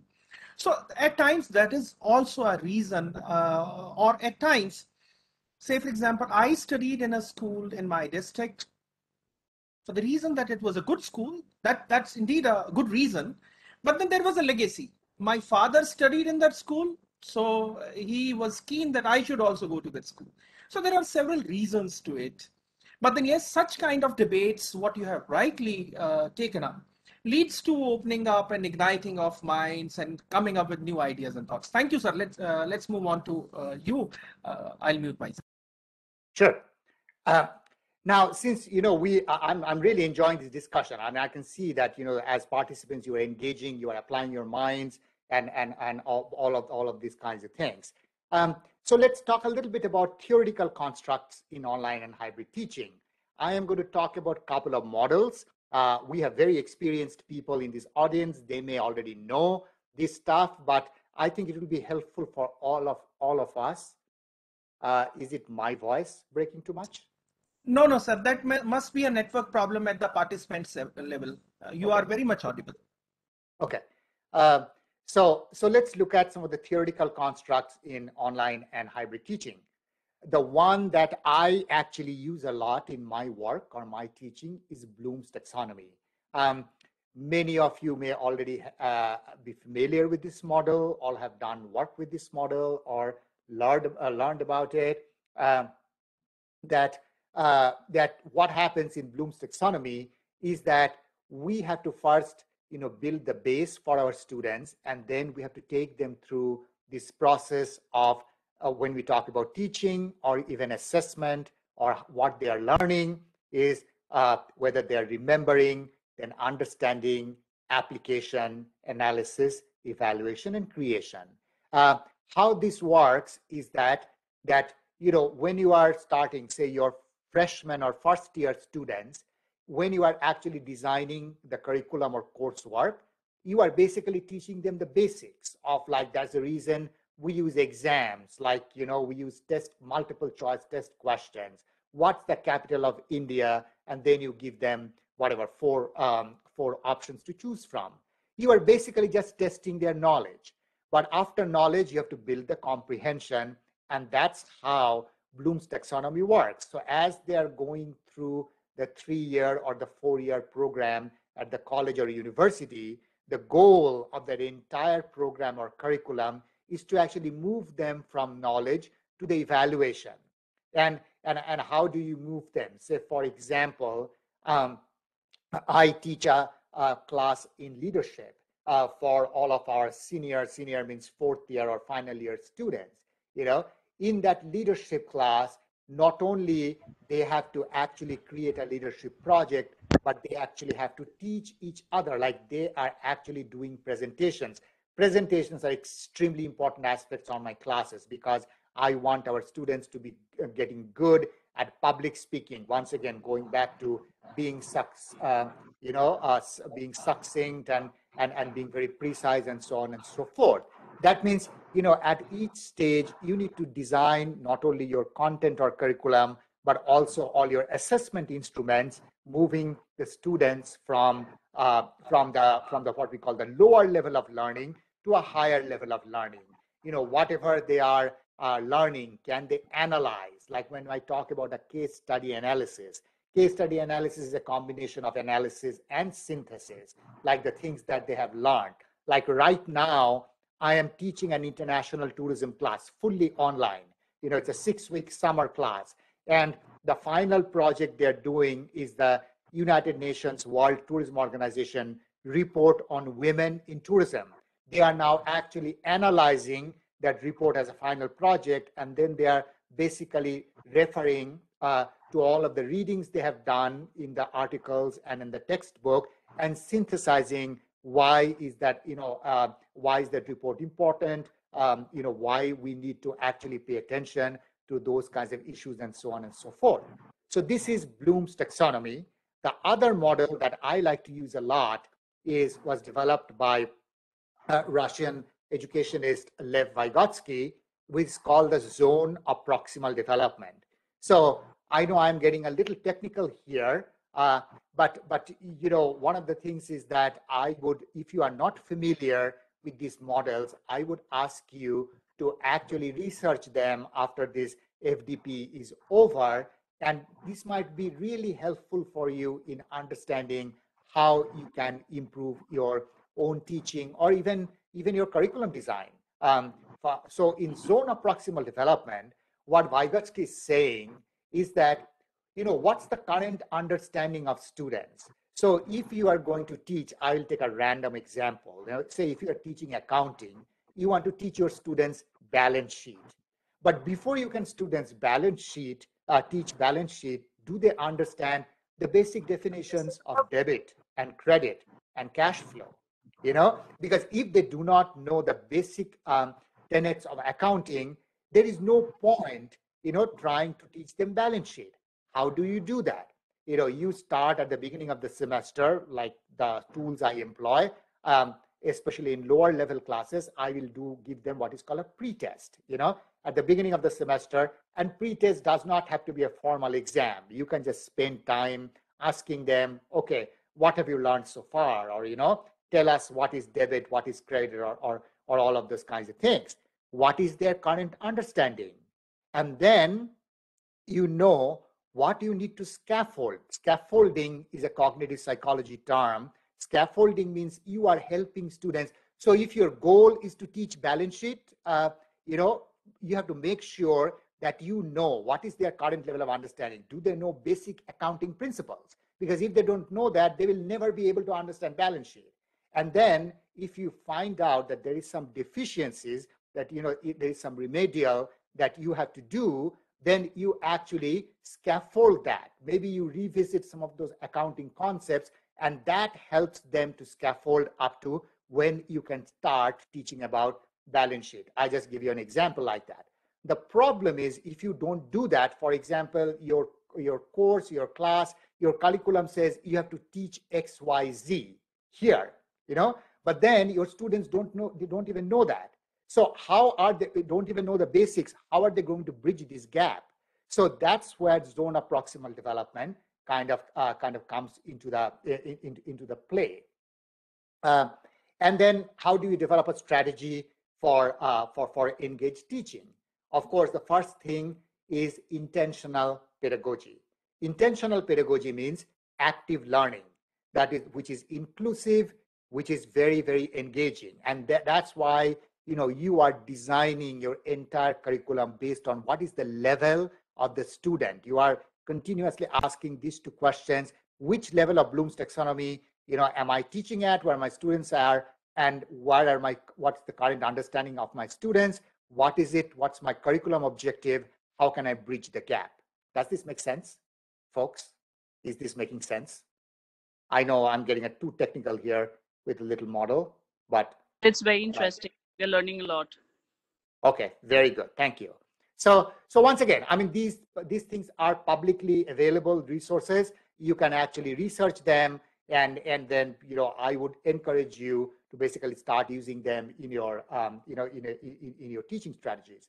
Um, mixed method instruction. I i told you at the beginning of the of the session that it is very important online hybrid virtual is here to stay it is not going to go away it is only going to increase so if if you are interested in being a really good teacher, an effective teacher, then it is important that you know you actually learn not only in person but also online, synchronous versus asynchronous, also hybrid combination of in-person, online, and what we call high flex, which is simultaneous in-person and virtual. Another very big uh, thing is instructional feedback how do I know that I am doing a decent job as an educator or an instructor in the classroom? Like, you know, I, like I said, I ask a lot of these questions. I'm continuously looking for ways to improve my own teaching. So the one thing that I do is I do a lot of peer review of teaching. What that means is I will actually invite other professors And, and not only that, many of you know professors from other departments, you know, I will invite, ask them to sit in on my classes, even on my Zoom class, and give me feedback on my teaching. And you know, once again, because in the North American culture, it's a much more direct task-oriented culture, I get very, very good suggestions. And it only helps me to, uh, you know, better or make tweaks and take those suggestions and make things better. At the same time, um, at least in the United States, all, uh, in all colleges and universities, every professor is getting evaluated by students at the end of the semester for every class. And those scores are actually a part of our performance evaluation. So every year, all of those data is collected. So I am going to show you like, you know, how I use my teaching evaluation scores. Um, you know, so this is from two semesters. So uh, our teaching evaluation scores are based on five, like from one to five or zero to five, whatever. But at the same time, when the scores are reported, uh, actually what happens is we also get to see what is the, the mean score for the department. In my case, it is the School of Hospitality Business Management or the Department of International Business. And what is the mean for the college? That means, so these are my scores. HBM 280 Hospitality Systems class, HBM 381 Hospitality Leadership class. So 4.9, 4.8, 4.8, 4.9. This is the department mean, 4.5, 4.5, 4.2, and this is the Carson College of Business mean. So uh, scores are always reported like that. So I kind of know, first of all, this is a great graphical or visual representation of, you know, what I am doing. For example, you know, as, as you can see, there is a consistency in both of these semesters, spring 2021 and fall 2022, this class registered 4.9, you know? So that means there is a consistency. So if you start plotting this data and then you are actually evaluated against your peers or your co colleagues in the department and then your colleagues in the entire college. So in our system, because everything is intensely competitive and performance based, is that you know the higher you are away from this, it is better for you the closer you are, and especially if this was dropping below this, then my boss will call me in and say, we, we need to have a talk, you know, we have a problem. So, uh, uh, so, so, um, uh, uh, uh so, so yes, um, uh, I'm looking at a couple of things. Please brief on HyFlex method. Yeah, I'll, I'll talk about it. Um, and, and I see Professor uh, Deswal has made a comment. We don't bear ourselves a social audit, and it does require courage and seeking to excel. Um, so, so yes, I mean, you know, this is a part of um, of, of, American academic life, uh, and this can be very brutal because once again, this is not about one semester or one class. You know, you are getting to see this at the end of every semester, and when you are going up for promotion for tenure, all of this data will be pulled through and as you can see, this is not in vacuum. You are actually seeing exactly where the department mean is and where the college mean is. Does anyone have any comments about this type of, who, I know most institutions in India do not do this, but are there, are there people in this audience whose institutions actually have a course evaluation tracker like this where you get not only your own score, but also you get to see uh, what's the department mean and the college mean? Or what do you think about this system? These things are important, folks, because how would you improve if you don't know what you're doing?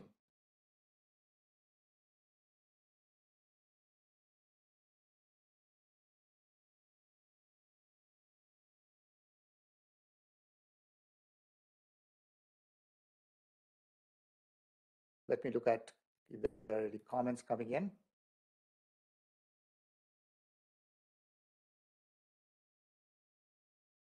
So do you think institutions in India should start implementing a system like this? Yes, no, maybe?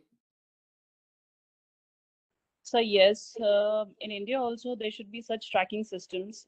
I think it's very important to uh, evaluate teachers as well. I mean, uh, according to me, it's purely my personal opinion that uh, you know, just a moment.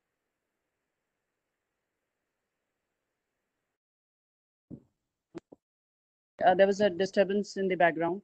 So uh, when we, you know, in India, when we, if we will have such a system, I think we will have a more holistic learning rather than, you know, just a, a, a unidirectional teaching classrooms. We will have a more holistic learning wherein students will be also a participant in uh, uh, in the entire teaching process. So this is purely my personal opinion.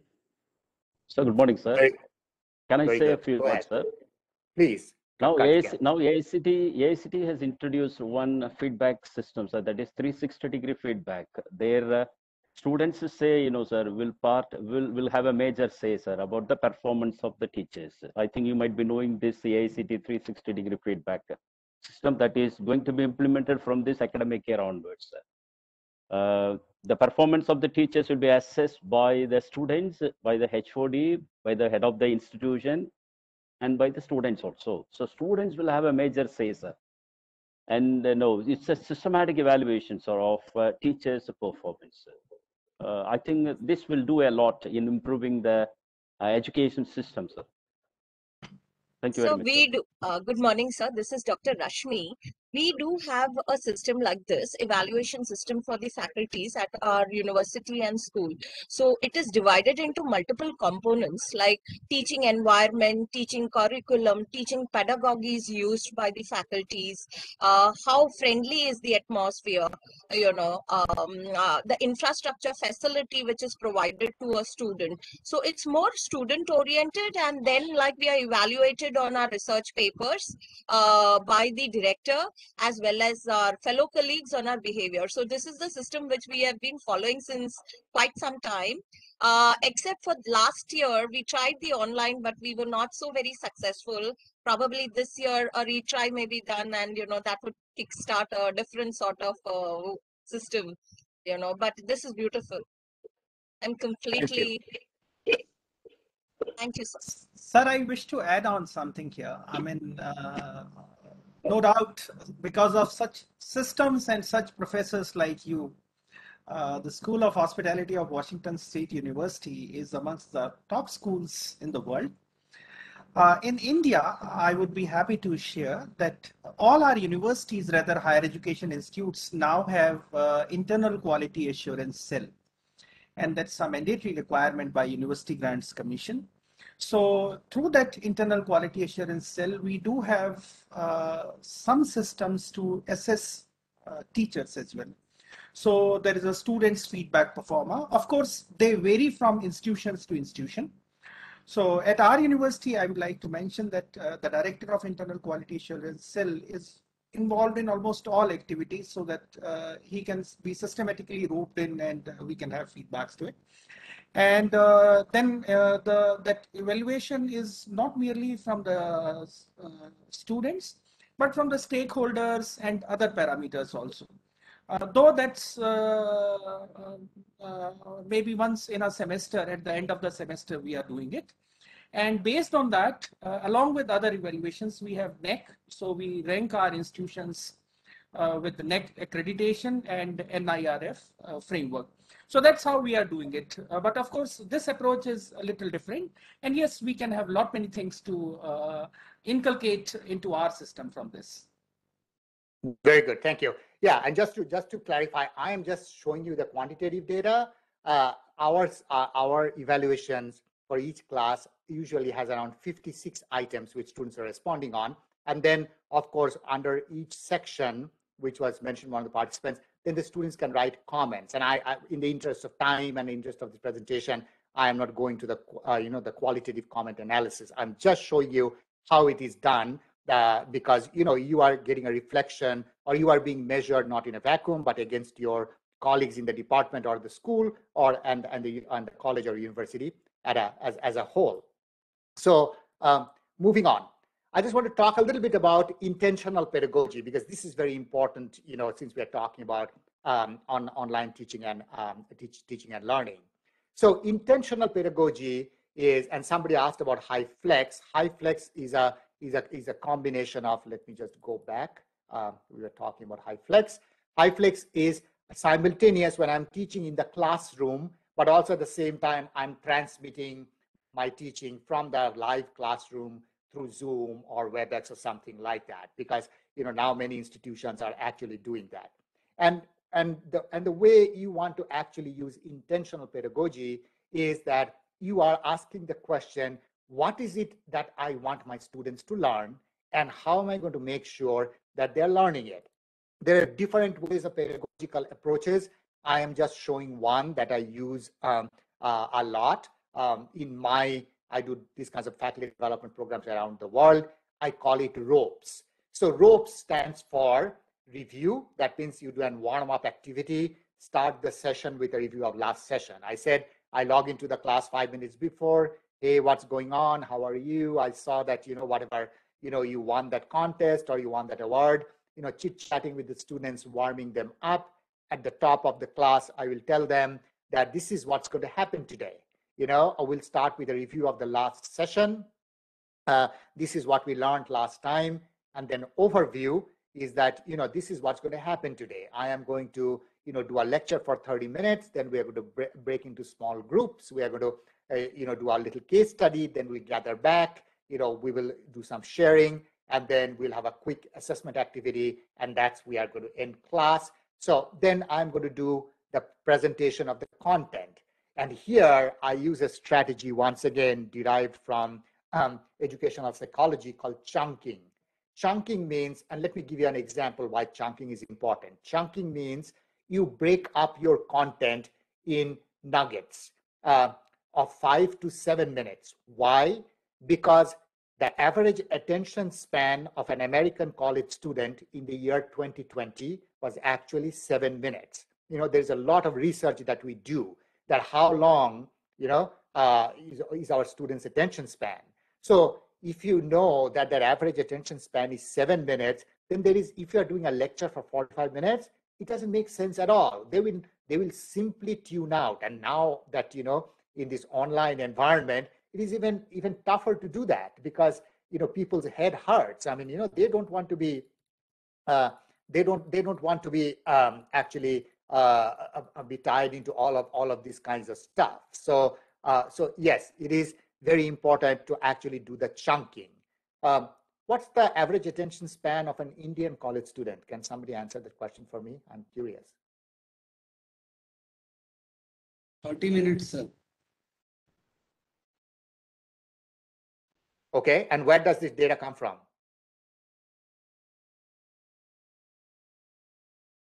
Somebody said 30, somebody said 15.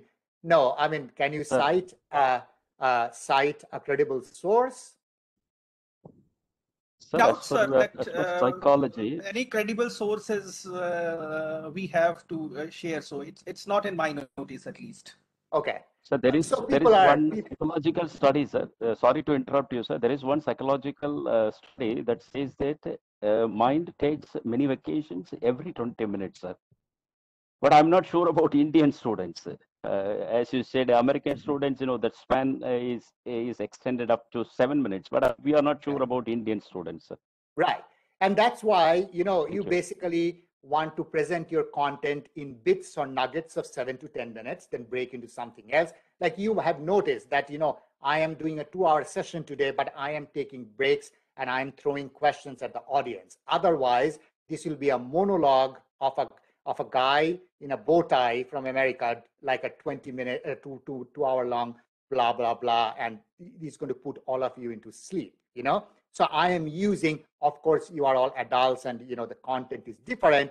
I am using some kind of a chunking strategy where I design the curriculum in a way that after a few slides, I'm taking a pause and say, what do you think, you know? Uh, and, and stuff like that, letting the audience respond and all these kinds of things. So this is some sort of an example of chunking. It is not possible to do that every time for every class. That's okay, as long as you understand the concept of chunking. You're breaking up your information so you are not that professor talking PowerPoint for the 45 minutes because it does not help learning at all. Then after your presentation, you have to do an evaluation, evaluate what they learned in an online environment. You have lots and lots of things, polls, quizzes, chat feature, uh, other softwares, Mentimeters, and all of that. One of the things I actually do is I will have students actually switch their cameras on for the evaluation, and I use what we call TED uh, or TED. That means when somebody says something, I'll say, tell me more, or explain what you mean, or define that for us. You know, that kind of draws draws that student in and then they can clarify then they can expand on their thought process and i as the instructor can check whether they're getting the concept or not. Because most of the courses i teach now are at the at the higher level so we are dealing with a lot of constructs a lot of theories a lot of you know a lot of pretty in-depth learning. So this like when i do the ted tell me more explain what you mean define that for us I also kind of knowing whether they're getting the concept or not. And then I always like to end my online sessions or my virtual sessions with uh, summarizing the key points. Okay, this is what we learned today. And then I provide a heads up about what's going to happen in, in the next session. So as you see in the ropes uh, uh, construct, we are starting with a review, then we are doing an overview, we are presenting whatever is the content that you want to present. Then you are evaluating what the students learned. And this is a good time to actually, if you need to clarify, we need to reinforce something, you can do that. And then you are summarizing.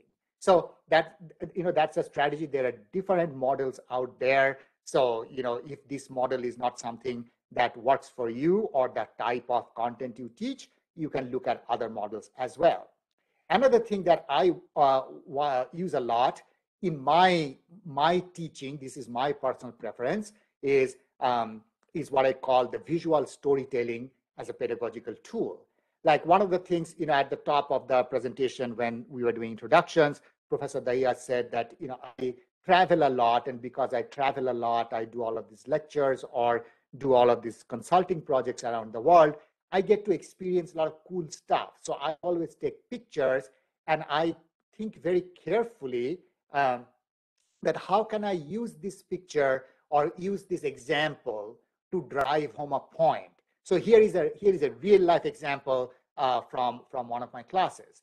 So in visual storytelling, you know what you need to do if you want to use an example like this, you have to be very very clear that what are you trying to use this example for. So what is the learning objective? What is the narrative that you are going to use? So what is the visual that you're going to use? What effect are you, uh, you know, expecting from the students? And evaluation, was the intended learning objective achieved? Now, let me give you an uh, example from uh, you know, one of my travels and you know, one of the theories that I teach, how I use visual storytelling. So in one of my upper division classes, in the senior capstone class, um, I, I use a, I teach a theory called the theory of economic distinctions with Pine and Gilmore. So in the theory of economic distinctions, we are helping students understand how basically, you know, the, the economies have moved from commodity based, you know, before industrial revolution, then became a goods economy, then it became a service economy, and finally, we are now in an experience economy stage. So in service economy, like you know, all of you have traveled or stayed at a hotel or a restaurant or something like that. In service economy, they are basically delivering intangibles. Like like you know when we say we went to that restaurant we had a great meal uh, fantastic and that's delivered on demand. But you know in the experience economy the idea is just not to deliver intangible services but to actually stage memories. And you want your customer or your guest to go away with sensations. Now you know i am just just shortening this whole whole thing just for the sake of example, we, we would take a whole class period to look at the theory of economic distinctions. And then, you know, this is this is this can get complicated for undergraduate students to grasp. So many times they will ask me, so can you give us an example of how a service can become a world-class outstanding experience? And I sometimes use this story. I say, well, a few years ago, I was in Macau, China. I was staying at the Four Seasons hotel. Four Seasons is one of the topmost luxury brands in the world. And I uh, arrived at the hotel very late. I had to go to a conference reception that evening. and I noticed that my shoes were dirty. And so it is a Four Seasons hotel. Uh, I called the guest services and I said, you know, can you shine my shoes? And they said, not a problem, sir. When do you need it by? I said, maybe within an hour. So they, so within 45 minutes, there was a knock on my door, but my shoes were delivered like this. So this is an example of how a simple service, you know, thousands of hotels around the world are providing shoe shine service, but the Four Seasons as a brand decided they will take a shoe shine example, a shoe shine service and elevate it to an outstanding world-class experience. And you know, this is essentially the, the wow or the aha. So I am using this visual storytelling as a pedagogical tool to actually teach a pretty complex theory, business theory, using one of my personal stories. And, and, and once again, you know, learning objective. What was my learning objective in using this picture from my personal travel? Glean an understanding of the theory of economic distinctions. What is the narrative? Theory to example crossover. I'm teaching the, I'm teaching the theory, then giving the example and showing them how you elevate a service and make it to a world-class experience. Visual, what visual am I going to use? First, the theory graphics, you know, uh, we, and then followed by the, uh, the, the, the shoe, the, the picture that I took. What effect am I expecting from students? Wow. Like usually when I show this to students, usually they're completely blown away. And then evaluation, guided questions, like I will show this picture and I will let this picture be, and then I will ask students, what are you seeing in this picture? Let's analyze this picture. What does it say about guest service? What does it say about branding? What does it say about process? What does it say about innovation? So as you can see, this is not a random picture about Professor Dipra's travel. You know, there is a very, very detailed pedagogical strategy in using this picture or using this visual storytelling as a tool to reinforce learning. What do you guys think? Is this is this good? Is this good stuff?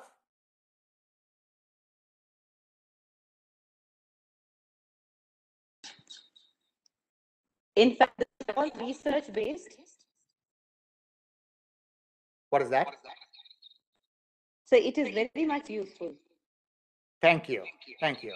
Uh, Sir, so, I, so yes. So, I wish to say something here. I, I, I Yes, think it's, it's it's a good time and a platform to acknowledge it also. That shoe story which you shared, it not only inspired your many students across the globe, but also one distant learner of yours, that's me. Uh, when when I, when I got to know about this, uh, when we met last time at Delhi, uh, I practiced this in my university institute, sir, and believe me, it made miracles. In a way, how miracles happen that whenever uh, hotels and other companies used to come for campus placements, understanding the diversity of the students from different backgrounds and many coming from rural places. So every morning they were insisted and they used to polish their shoes. But then walking down the lanes in the village, coming through the fields and traveling in a bus or public transport and traveling on foot, by the time they were to the university campus, they were again filled with dust. So with this story, what I, uh, uh, what, inferences I drew was that uh, the service commitments are indeed important and uh, how Four Seasons have won the heart of a scholarly professor like you. Uh, if we use it in our uh, practical living, that can do wonders. So in the washrooms of uh, my institute, I got some shoe shiners and shoe polishes placed. And whenever the companies used to come, I used to ask the students, go to the washroom first, get your shoes polished and then come back. And believe me, the uh, impact was amazing. So thanks to you. Thank you, Professor Dahiya. Yes, and as you can see, and and let me let me make a couple of comments here. Like you know, of course, I am very blessed and I'm very fortunate to be able to get these examples to my students. Um, but you know, you don't have to travel to Paris or London to, or Dubai to be able to do that. There are so many examples around us. You know, around your homes, around your cities. You just have to have a very keen eye to observe. Like I have hundreds and hundreds of examples. Professor Dahiya knows that. I mean, you know, like in India, I do work with Oberoi Hotels and Leela and all of that stuff. So I, I am a voracious collector of all of these examples. And I always think, okay, where can I use this example? You know, what theory is going to go in? And if you're if you're asking me now, why do you even do this? It's very simple, folks. One of mo the most influential professors in my life, Dr. David Johnson, once told me, people do not remember information, they remember stories. Let me repeat. People do not remember information, they remember stories. And once again, since you are you know, in the business of teaching and learning, remember, information without context has no meaning at all. You know, I can I can talk about theory of economic distinctions for two hours, but okay, for my undergraduate student, how do I contextualize this? How do I use this theory? Does this theory have an application in real life? Yes, here it is. Information without context has no meaning at all. And and especially, you know, I teach in a AACSB accredited business school, which is, you know, very few business schools in the world are AACSB accredited. Our accreditation uh, bodies are watching us very closely in how we teach, you know, what learning uh, outcomes are being achieved and all of that kind of stuff. So once I'm saying that engage teaching, you know, I can, it doesn't matter whether I'm teaching this on Zoom or WebEx or whatever, now you can see that it is possible to actually deliver engaged teaching. Yes, my friends, this is a lot of work because as you see, I just did not randomly pick up this picture. I asked all of these questions that, you know, how am I going to combine this theory with this picture? And what's the learning objective? What's the narrative? What's the visual? So once again, quality teaching, outstanding teaching is not easy. It's a lot of work, you know, so I'm just saying that this is not something you can just wake up five minutes before class and deliver. Just not possible.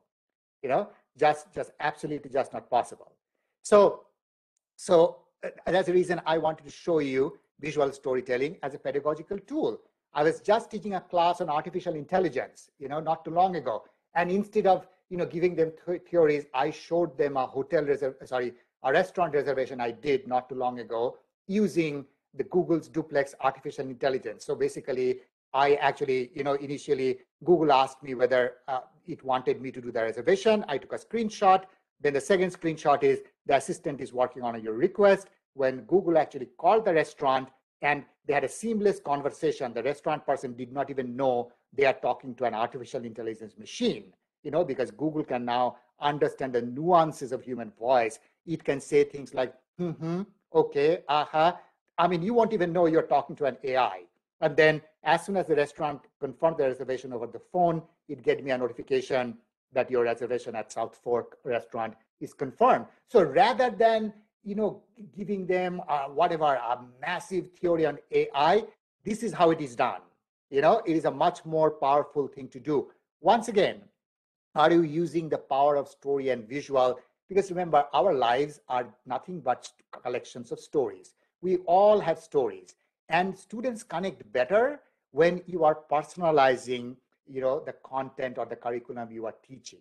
Uh, that's the you know the best teachers of the world uh, in the world are the people who tell the most engaging and effective stories. That's a fact of life. I want to skip the case study because we don't have time. The final thing that i want to talk about is effective communication how to build your virtual presence now before I um, finish this segment, I would like to um, like to state very clearly that I am going to talk about technology here, and I completely understand that the technology or the resources that you know I have access to or we have access to in North America, a lot of people in the world simply do not have access to these kinds of technology. But nevertheless, like I always tell people that you know, building your virtual presence is very important. What that means, that investing in infrastructure for uh, success, equipment, what equipment we are going to use. Many of you, I know people here are attending from a variety of institutions. Some of you central universities or IITs have much more resources than maybe a smaller public government college in rural India. But also, irrespective of what you are using as equipment, you have to understand a few things that WebEx, Zoom, Google Meet, whatever, you know, you have to be very careful about virtual aesthetics in a sense that using virtual background, like why did why did I blur my background today? Very simple, because you know I use a very high-end 4K camera, and if I blur my background, it's actually going to focus right onto me. I have been doing these things for a while, so I know what the picture is going to look like. Lighting, very important. In just a minute, I will show you the setup I have both at home where I'm teach where I am doing this session from and and, and in my office. Professional attire, you know, I teach you know a, a top business school. I believe that it is important for me to look professional. Professional attire is not about vanity. It is not about wearing brands. It is about being looking professional. That's my personal choice. And and once again, um, how you dress is absolutely your personal choice. You know, I choose to do this. I mean, I travel all over the world and and I like, you know, when Professor Dahiya invited me to the conference at Maharishi Dayananda University, it was a very hot day, but I still wore a suit and a bow tie, didn't I, Professor uh, Dahiya? So because absolutely, sir. Because you know what? If he had taken the trouble to invite me to come deliver a keynote at his university, at the least I can do, I was traveling in an air conditioned car from Delhi to MDU. So it's not that big of a deal for me. I mean, you know, and we, as soon as I arrived at IITTM at MDU, once again, everything is air conditioned, no big deal. But, you know, it is important for me to build a professional presence, as simple as that. Once again, that's my personal choice. Um, how other faculty, you know, we have, a, like even in Washington State, there are a lot of my colleagues who doesn't care. I mean, they will wear a polo to class. That's their personal choice. Communicating virtually, preparation is very important in a sense that that's the reason I logged in 15 minutes before. Um, WebEx is a new, this is not a format that I normally use. I made sure that I understand, you know, how to work the PowerPoint. Is the camera focusing rightly? Uh, also, absence of body language and nonverbals. That means there'll be an absence of audience reaction. I won't be able to see. So that means there is no interaction or energy. And finally, digital etiquette. Clarify at the beginning of the semester what you expect from students. Do you want them to keep their cameras on or off? Like in my classes, I know it gets very tiring. I tell students, you can keep your cameras off unless you are talking to me or a guest speaker. When you are engaging as part of digital etiquette, you know, you have to keep your camera on. So it's a sweet spot between, you know, uh, that they can keep their camera off during the lecture, but then turn it on. Let's look at some setups. This is the setup I have at home where I am coming from. So as you can see, I have two ring newer ring lights on both sides of my work desk. You know, I actually have a 4K 48 inch uh, curved screen so that I can split all of this stuff. I can have three or four, like a PowerPoint, a Zoom, and all of these things going. Um, I actually use that Logitech Brio 4K camera. 4K, if you're not familiar, very high-end laptop cameras are actually 1080p a 4K is four times the resolution. So even if you have bad internet, you should still be able to see me pretty well because the image is very sharp. Then for audio, this is a studio setup microphone. This is a Blue Yeti stereo microphone on a cardioid setting and all of that. And I have all of the other things going here. I have a very high-end Sony headset. You know, um, I have all of the other stuffs here. Uh, and I use actually a Dell XPS 1 TB um, you know, computer, which is very high computing power because I have three or four devices going together at the same time. So you, I mean, I, you don't see my, uh, you will see my tablet here and all of that kind of stuff. Very important to understand. Bandwidth is of course important. Video, your students should be able to see you clearly. More important, audio. They should be able to hear you very clearly. So if you have not, I would always encourage people because now the cost of it, well, I mean, you know, this is a $600 uh, headset. You don't need that. Uh, you know, you can actually get something much more affordable, but it is important that, you know, you have good audio and at the same time, lighting is very important, you know, like when I started at 8.30 because here the sunset is after 9 p.m., but now it is almost close to 10.30 p.m. It's dark outside. But as you can see, my picture is pretty well lit because I have two newer ring lights And these ring lights are adjustable. They have adjustable between hot and cold. I can change the intensity and all of that kind of stuff. So this is the, so technology definitely helps. So if you have access to these type of resources, invest in them. Absolutely. My office, very similar, though I don't use my office at all because, you know, we are working from home. As you can see, I have a giant curved screen, 4K camera. And does anybody know what this green thing is? Any guess? What good? What this green thing is? Green screen. No, it's not a green screen, man. This green thing looks like a light. Anybody? It's actually a 4K document camera. So I can actually plug it into WebEx or Zoom. And as I'm teaching, if I want to write something and show it under the camera, I can do that. You know? So once again, there's a lot of like, you know, now I'm getting up, getting some newer technologies. You know, I'm going to have a um, um, Mini Pro to split so that you know I can transmit video. But I have been doing this for several years now, so I th- I think I'm a pretty good, um, you know, decent understanding of technology. So if you are starting out or if you do not have access to these resources, don't don't don't worry about it. Finally, as we are ending this session, you know, um, teaching and learning is great, technology is great, all of those constructs and theories are great, but great communication in an online hybrid environment is the one where the instructor or the teacher is also um, communicating things like empathy, patience, inclusivity, and kindness. Like one thing I have learned through my long career people will not remember what you did to them, but they will always remember how you made them feel. So your students may or may not remember what you taught or you know what what theories or what a great scholar you are they will always remember how you made them feel. Did you treat them with respect? Did you treat them with kindness? You know did you show empathy? Um, did you have patience with them? So in the end you know teaching and learning is not only about all of these theories all of this whatever $30000 technologies. In the end, it is a human experience. So it is very important that whether you are teaching in person, whether you are teaching online, you know, whether teaching virtually, that this is what you do. And that brings me to the end of this session. I'm so sorry I went over one minute. Um, I know that we were supposed to break exactly at 11 uh, a.m. there. So once again, my apologies, I went over by one minute. Professor Dahiya, I apologize. Sir, दिल तो करता है कि आपको सुनते ही जाएं, सुनते ही जाएं, सुनते ही जाएं. But then, before I say a few words, there is a very short video which i think in your honor. And sharing the feelings of all participants i must do that. So please allow me to share that screen and uh, let me play that video for you.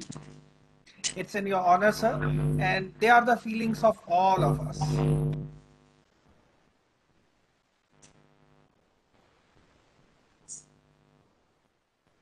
嗯。